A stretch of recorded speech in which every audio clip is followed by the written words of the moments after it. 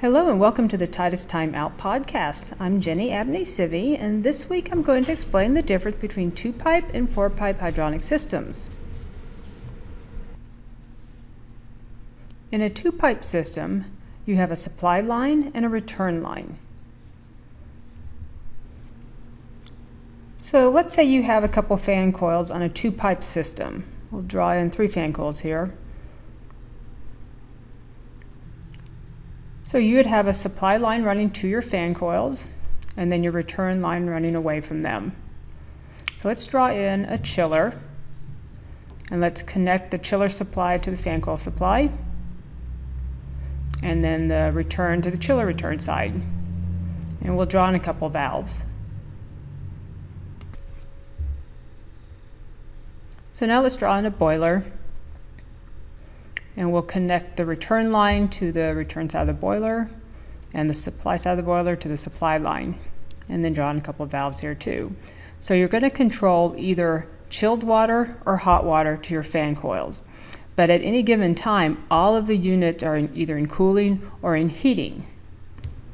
So a two-pipe system would operate where in the summer the system is in cooling and in the winter the system is in heating. The challenge here is what happens in the, the shoulder seasons when it might be in cooling but is cold outside. You can't turn on the heat and you can have uncomfortable occupants. So years ago I was staying in a hotel and it was like September 29th or something, but it was 30 degrees outside and snowing and the room was freezing. So I called down and said, you know, why is there no heat?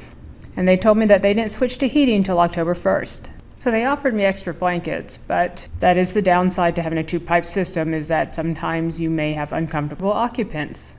So what I really wished is that they had a four-pipe system in this building. So let's move this over and talk about the four-pipe system.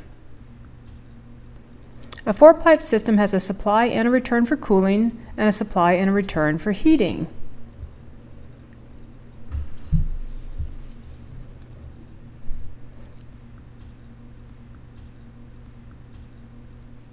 So let's draw in our three fan coils again.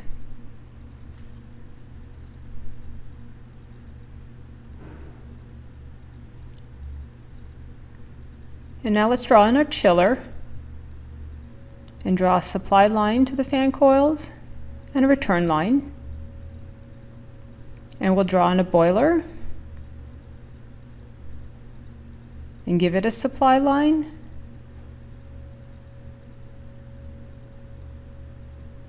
and a return line.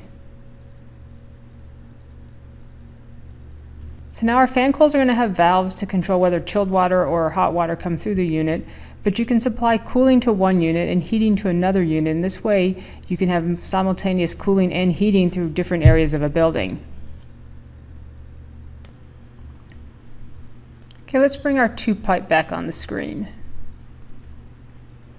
Oops, and I forgot to draw in the valves on the two pipe because you'd have valves to control the flow through the fan coils as well here.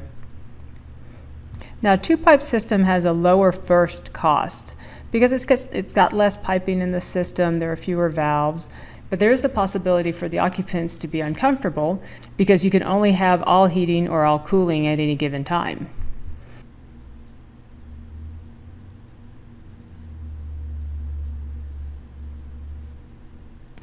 A four pipe system is, is more expensive because you've got more valves and more piping running through the building, but you do have more flexibility to provide comfort to different zones at the same time.